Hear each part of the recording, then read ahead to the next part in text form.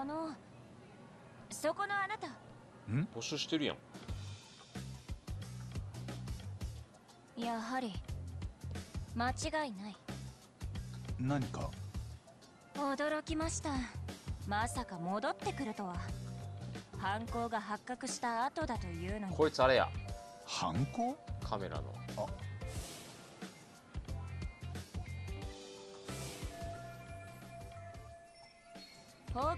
強盗犯は現場に戻ってくると言いますがあれは本当だったんですね。盗撮魔さん。えっと盗撮魔？何のことかな階段に盗撮カメラを設置して女性とのスカートの中を覗こうとしたでしょ？いやマジで何言ってるのかわからないんだけどあの俺忙しいんで待ちなさい。あなたが履いているスニーカーそれこそが動かぬ証拠。盗撮魔が履いていたものと全く同じ形なのですから。逃げられると思わないことです。あのささっきから何なんだよ。スニーカーが同じだって。そんな根拠で人を犯罪者扱いするのはどうかと思うよ。同じスニーカー履いてる人なんていくらでもいるでしょ スニーカーが同じことだけが根拠ではありません。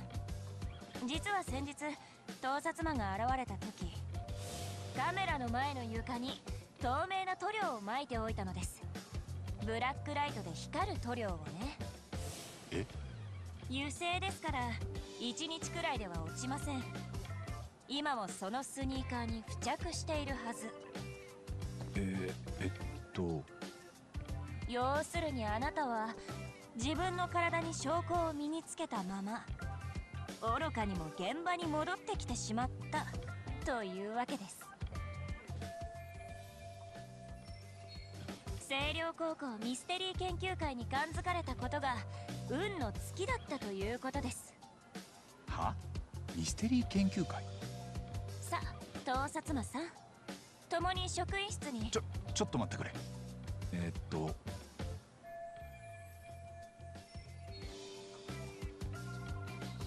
ねじ伏せる面白いな、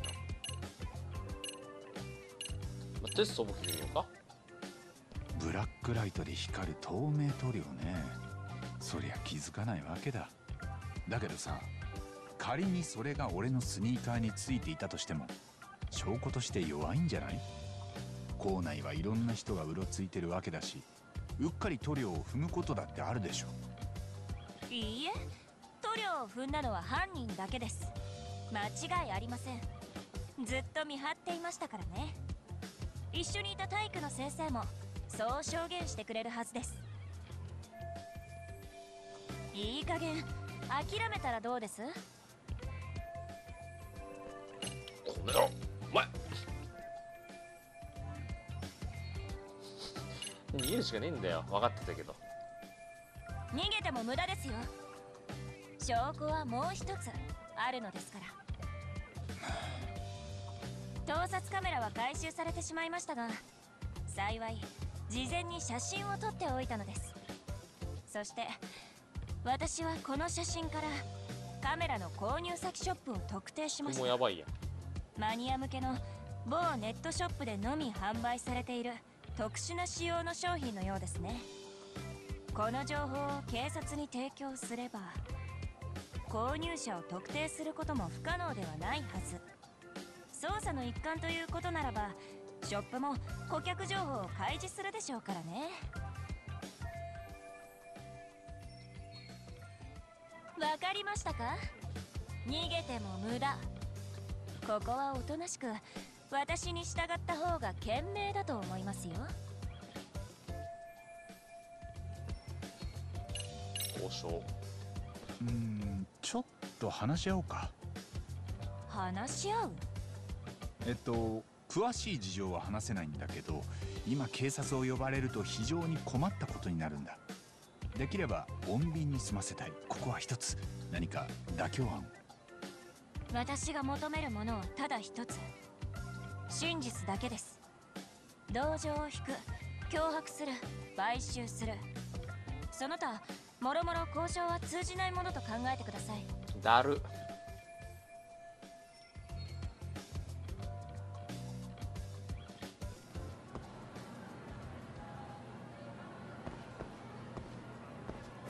交渉材料って何よ？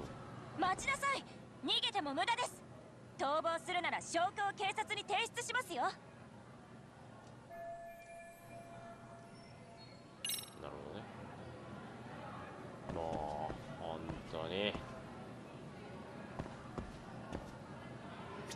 しいな。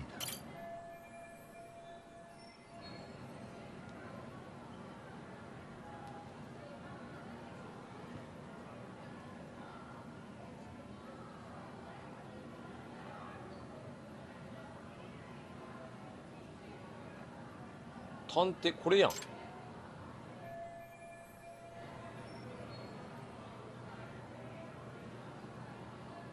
これじゃん。おめえこの部活なくなってもいいんだな。俺探偵だと思って君ミステリー研究会の部長さんなんだよね。天沢京子さんっていうんだ。それが何か？そこのチラシに書いてあったんだけど顧問が辞めちゃって困ってるんだって？以前の顧問の先生が結婚を機に退職されまして代わりを務めてくれる顧問の先生がいないのです。理事長も代わりの顧問を立てることに後ろ向きでおかげでミスケンは廃部の危機。ですがご心配なく私があなたを捕まえて盗撮魔として差し出せば手柄を一つ立てられます。そうなればミスケンの存在意義は証明され理事長も外部指導員を探してくれるはずです。いやーそれはどうかな。ミステリー研究会の顧問ができる人材なんてめったにいるもんじゃない。高校の顧問を引き受けてくれる探偵や作家がそう簡単に見つかるかな。まあ確かに。難しいとは思いますが。だろ？そこで俺から一つ提案なんだけど。回収するはやばいでしょ。俺が顧問をやろうか？はあ？なたが？実は俺探偵でさ鴨野町の。探偵？そう。八神探偵事務所の八神孝之。学校に来てたのも調査でね。詳しいことは教えられないんだけど。もしかして盗撮カメラも調査のために？そこは想像に任せるよ。守秘義務があるんでね。だけどいかがわしい目的があったわけじゃない。そのことだけは確かだ。覗こうとしていたのはスカートの中ではなく別の何かだった。だけど調査のためだとしたら何のために？誰がになるとこではあるよな。まさか学校関係者が？ああ。推理中のところ悪いんだけどいいかな？実を言うと俺としても顧問になれると好都合なんだ。校内でいろいろと調査したいんだけど澤先生に睨まれちゃってさ。澤先生に？ああ。部外者は出ていけって言われて困ってたところなんだ。だけど顧問になればもう部外者じゃない。校内をうろつく大義名分ができるってわけだ。この提案双方にメリットがあると思うんだけどどうかな？探偵としての経験はそれなりだ。でかい案件だって解決したことがある。おっしゃりたいことは理解しました。ですが。何らかの目的で調査をしていた。そう考えると確かに辻褄が合うことも多い。ですがまだあなたの主張を全面的に信じたわけではありません。そこで一つテストをしましょう。テスト？ついてきてくださいすぐそこですから。もおい。ういいやもう。はいもう認めてくださいって言う？言うで。こら。まこらこらこもうストーカーしてるようにしか見えない。俺が開けるよ。ここやね。うわ。明日やん。ステリー研究部。ここは？ミステリー研究会の部室です部室これが？部活数に対して部室の数が足りず倉庫を間借りしているんです。さあどうぞ中へ。あちなみに他の部員もいますので元空手部黒帯男子の。そう警戒すんなって。悪いことしねえっちゅうに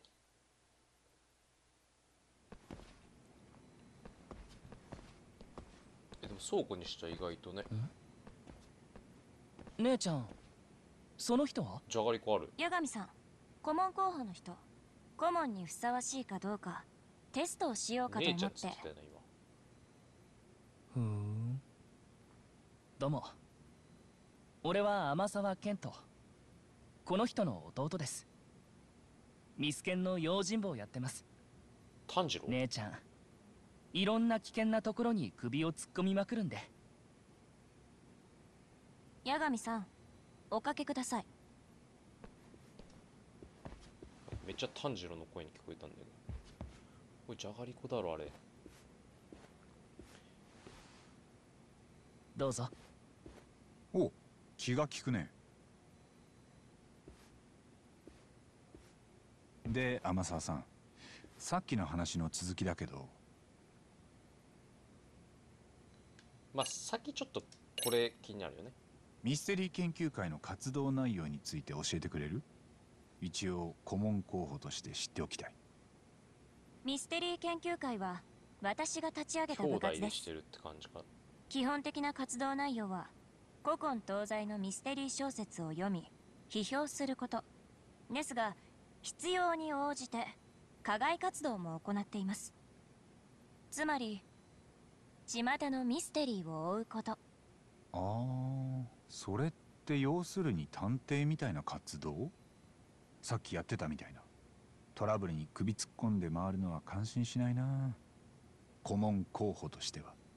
誤解しないでほしいのですがむやみに危険に身をさらすような真似はいたしません。安楽椅子探偵のごとく机上の推理で完結するならばそれがベストそうしてもらえるとありがたいね。とはいえ何事にも例外はあります。例えば警察や教師でさえ気がついていないトラブルや事件の匂い。そういった匂いを嗅ぎつけてしまった場合放っておくわけにはいきません。意外と知ってる嗅ぎつけるのはいいとしてその先は警察に任せといたら危険だし。でしたら八神さんのことも警察にお任せしますか？あいやそれは勘弁。とこんな具合に割り切れない事件も多々あるのです。なるほど。納得。じゃあテストを聞いてみよなあさっき言ってたテストって？あなたが探偵でありカメラも調査のためだった。確かにそう考えると筋が通ることも確かです。ですがその主張を安易に信じ天津さえすぐに顧問になってもらうなど不用心すぎます。まあそううだよな。まあそりゃそうだよね。ですので八神さんの探偵としての能力そして人間性を見極めさせてほしいんです。その上で判断させてください。あなたに顧問をお願いするかそれとも盗撮魔として差し出すか。なるほどね。だけどどうやって見極めるつもりだ？私たちは今ある事件を追っているのですがその調査を手伝っていただこうと思います。事件？おいこれその話によあっては。る事件についてなんですが八神さんはパパ活をご存知ですか？パパ活？まあまあまあまあわかる。大人が若い女の子にお小遣いをあげてデートしてもらう活動だろ？はい私が今追いかけている事件はそのパパ活に関するものでして。実はこの高校のダンス部の女子がパパ活をしているようなのです。それが誰なのかまではわからないのですが。ダンス部の子が？まあ問題って言えばそうだろうけど事件って言うほどか。いえ問題はそのパパ活女子の身に危険が迫っていることなんです危険が？情報源が SNS ですので漠然とした情報ではあるのですがどうもその女子のやり口が悪質で大変な不評を買っているとのことでして。悪質？どんな風に？何度もデートを重ねお小遣いを稼いだ挙句頃合いを見計らい雲隠れするそうです。次こそことに及べる。そうにおわせ最後に大金をおねだりしドロン。まあ確かに恨みは買いそうだが自業自得だろう。金払って未成年とデートして文句言うのもな。それはそうなんですが彼女に逃げられた一人が元半グレのたちの悪い男のようでしてあの女を見つけ出して犯してぶっ殺してやると息巻いていたそうなんです。ああ確かにそりゃ物騒だな。でその元半グレの男仲間まで連れ出して必死にパパ活女子を探しているらしくてこのままでは危険なのです。一刻も早くパパ活女子の正体を掴んで警告してあげる必要があります。確かに放っておくわけにはいかないな。事件を未然に防げれば御の字だ。そうその通りです真の名探偵ならば事件が起こる前に防ぐべし。です。おおお俺もそう思うよ。で依頼手伝って。君たちが追っている事件については理解したよ。テストの内容もな。で具体的に何をすればいい？何でも手伝うよ。かのシャーロック・ホームズは探偵として様々な人物に変幻自在に化けたと言います。ある時は老婆にまたある時はホームレスに。他者の目を見事に欺き調査を有利に進めていました。潜入捜査ってやつ。だめっちゃ目キラキラした話、ええ。探偵として必要とされる能力の一つかと存じます。そこで八神さんにはダンス部にアドバイザーとして潜り込みパパ活女子の情報を探り出してほしい。はあ？俺がダンス部のアドバイザー？実を言うと私もこれまで何度かダンス部にアプローチし情報を得ようとしてきたのですが彼女たちの結束はあの普固通に俺バスケ部ってなんく部か外者に身内の秘密を話してくれそうになくて普通に見間違えたならば第三者がアドバイザーとして潜入し信頼を得た上で情報を引き出すことが最善策かと。いやそもそも俺ダンスなんてやったことないけどアドバイザーはさすがに。そこは大丈夫です。ダンス経験のある先生の方が少ないですし勉強しながら教えている先生も多い。はそれに最近ダンス部は顧問の先生が休みがちで困っているようでしてそこに八神さんが現れ大人としていい助言ができればきっと信頼してくれるはずです。あうーんそういうもんか。うまくいくか。あなたが本当に腕のいい探偵ならばそのくらいプレッシャー何とかかけてくるしてみせるねこの子と思います。なるほど。簡単なテストじゃないってわけ。だがまあ一般的なアドバイスとかで切り込めばなんとかなるか。こっちとらアイドルやぞ。さてそろそろ練習の始まる時間でしょうし早速向かいましょう練習場は体育館の地下にあります。地下？八神さんもし顧問になったらよろしくね。姉ちゃんのテスト厳しいと思うけど頑張って。ああ。炭治郎。じゃないかもしんないけどなんかすげえ声質似てるよな。全集中水の呼吸？一の方皆小下痢みたいな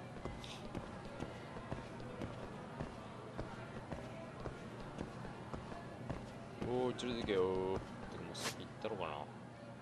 あおー当たるなよ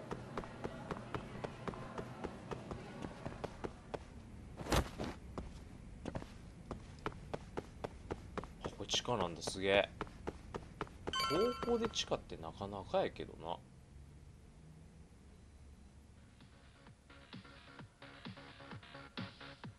いキムタクがダンス教えるぞ。えー、っと部長はあいました。うーんなんか違うんだよな。だけど何が？うーん西園さやかさん。西園ちょっさやかといいですか？こあなたは？なんかな？ミステリー研究会部長天沢です。今日は西園さんにちょっとお話を伺いたくて。ミスケン？あミスケンが何の用ですか？うちで事件なんて起こってませんけど。そう警戒しないでください。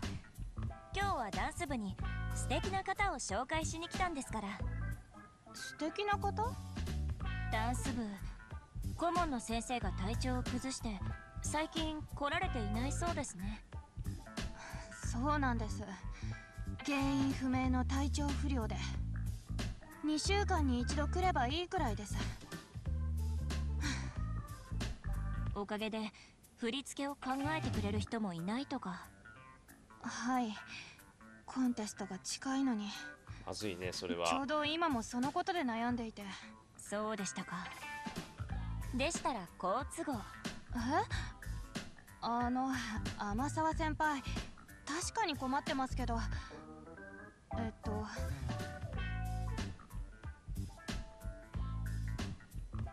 この人は八神さん。ミスケンの顧問。になるかもしれない人です。なるかもしれない人？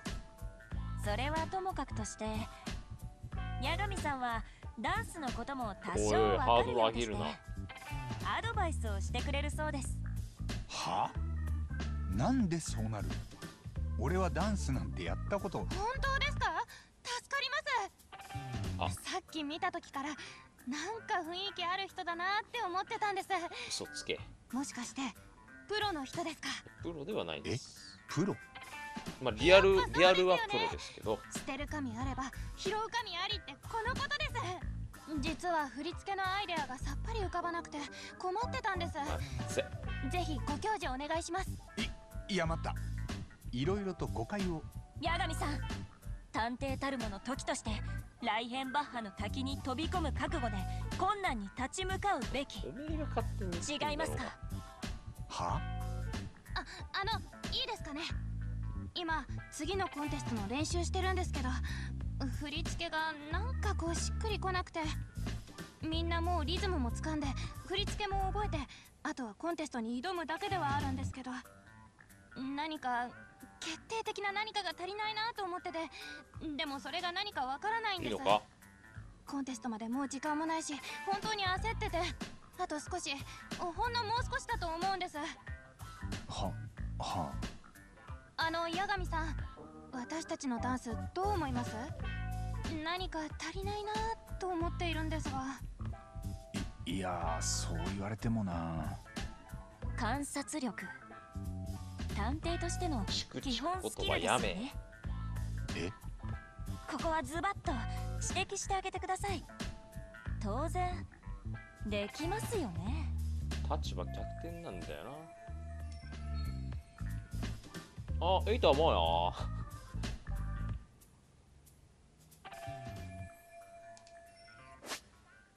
あ何？え何？えー、っと選択肢が出る。時間制限付き。あえて何も選ばず無言という選択も回答の一つになります。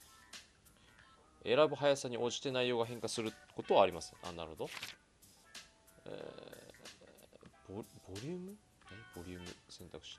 会話中の選択肢で声の大きさやテンションの高さなどのニュアンスを、えースティックで調節して回答する選択肢です。曲知らんしな。えー？インパクトユニゾンがうまくいってない色気が色気だい。や曲の奇抜さはあれとしてえー？ユニゾンとかいよくわかんないけどこれいっちゃおう。メンバーの動きがバラバラでユニゾンっていうのかな？うまくいっていないような。そうですか？ユニゾンはバッチリのようでしたが。はい。そこは自信あるんあれ？そっか。ちょっと目かすんでてね。ごめんごめん。よく見えなかったな。よし。それじゃあもう一度よく見て。でまだユニゾンガマゴ言ってないですね。つって。色気？色気必要か？え曲聞こえないんだけどな。インパクトが足りないんじゃないかな。インパクトですか？うん。ユニゾンもうまくいってるし振り付けもバッチリ身についてる。ただなんていうか記憶に残るような派手な動きに欠ける気がするんだよね。なるほど。確かにそうかもしれません。全体的に無難にまとまりすぎてるんですよね。ただちょっとアイデアが出尽くしてまして。八神さんなんかいいアイデアないです何か？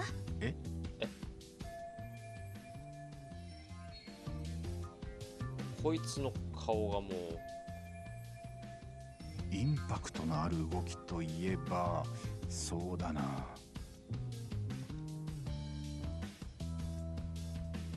一層踊らないとかやばいだろ。インパクト。あーまあここはないとしてカンフーとも自分の趣味だから二択でしょ。歌って踊れるみたいな。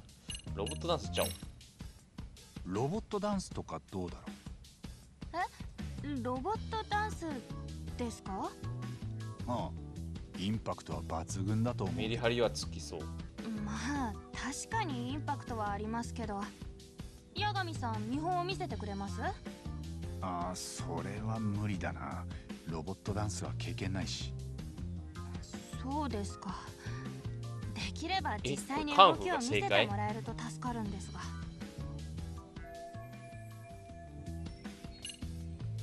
歌もうまいよ。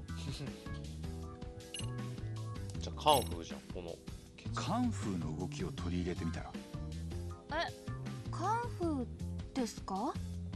ああカンフーなら派手な動きが多いし意外とダンスに向いてるかも。合うのかな？確かにカンフーはありかも。実際に格闘技の動きを取り入れてるダンスもありますし。でも私たちカンフーの動きなんてわからないですよ。私カンフーの動き得意ね。俺一応カンフーできるけど。そうなんですか？まあほとんど自己流だけどね。派手な動きもできる。なら教えてもらってもいいですか？まあいいけど。じゃあ早速見本を見せてくれますか？踊ってみてください。え？踊る？俺が？動作だけならネットで見れますしそれをどうダンスの振り付けにするのかが肝心ですから。ぜひそこは専門家の八神さんに。いいやカンフーはできるけどさ踊れとなると俺素人だし。そうですか。踊れないんですか。八神さんできないなら今回の話はなかったことにこいつ。えっとあおまわりさんの番号は？待ったわかった。とりあえずやってみるよ。ダンスなんて初めてだからうまくやれるかわからないけど。よろしくお願いします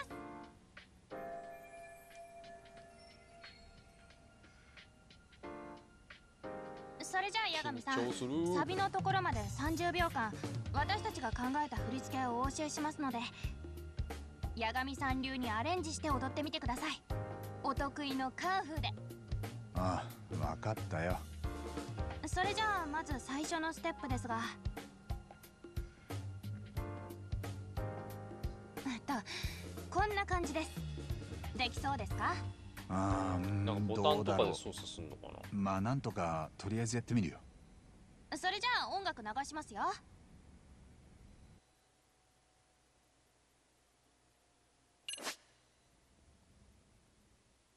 ダンスアクション。EX 振り付けなんじゃそれ。い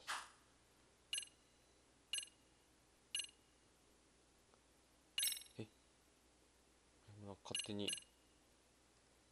勝手に。さあ行こうか。なんか振り付けとか選ばれてんだけど。What? で出たー。あれか。あのなんかゲーセンとかである音ゲーのやつか。おい。うわー。八神さんのダンス見てるけど集中できない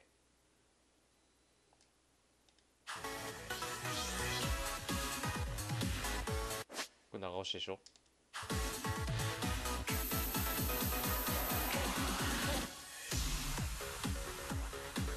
おちょちょそのタイミングで来んのやめてくんね？おこれ全部か。かっこよ。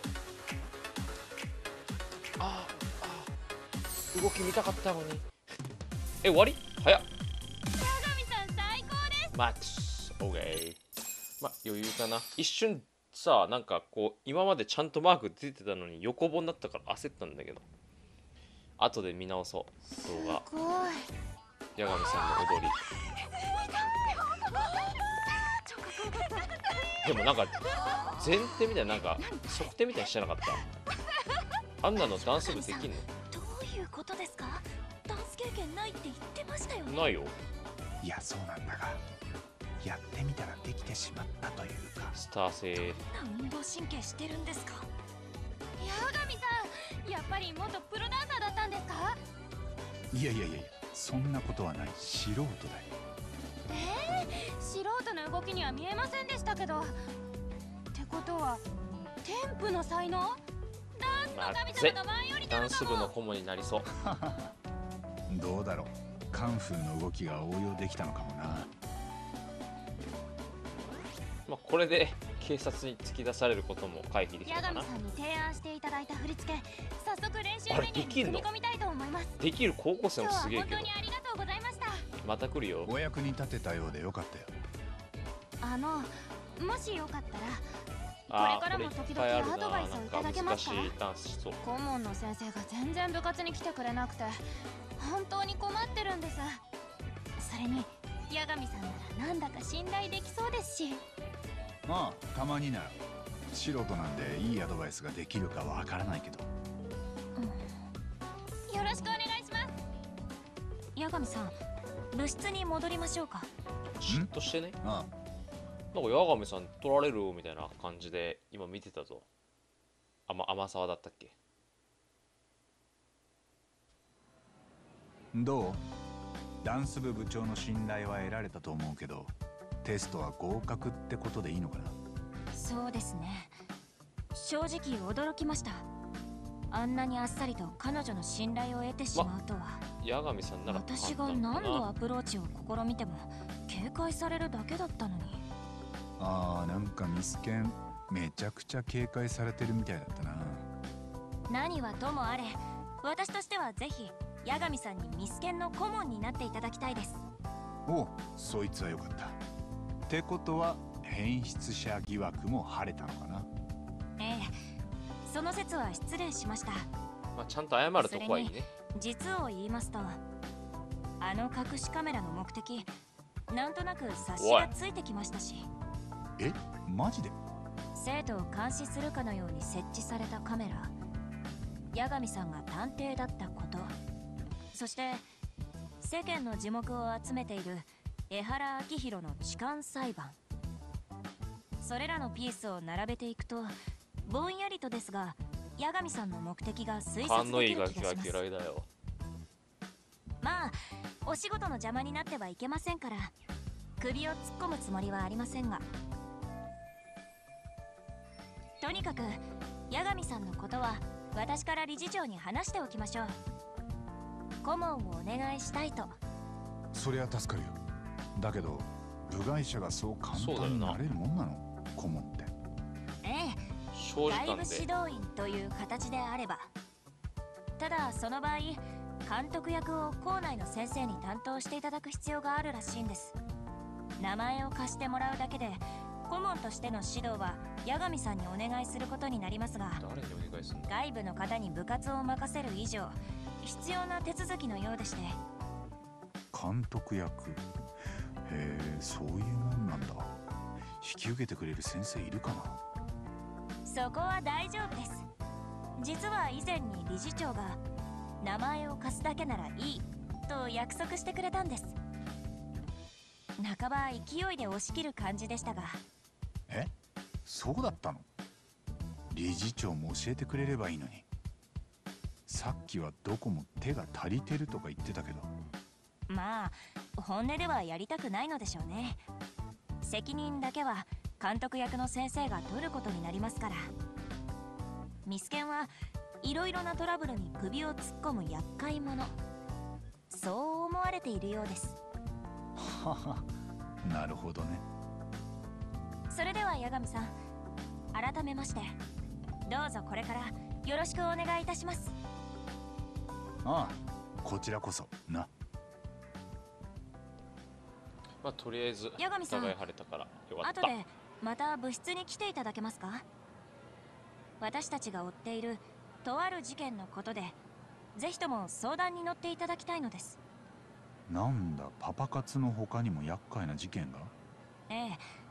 それよりももっと厄介かもしれません。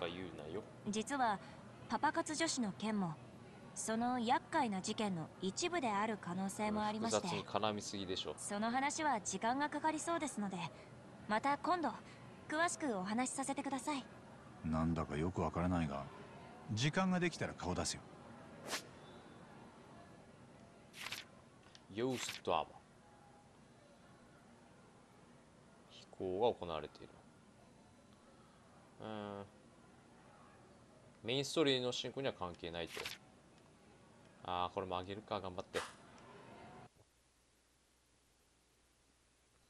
まあやる以上は結構ねいろいろやりたいし。いろんなサブストーリーとか今のユースドラマとかも見たいしね。まあ一番はメインストーリーやけどね。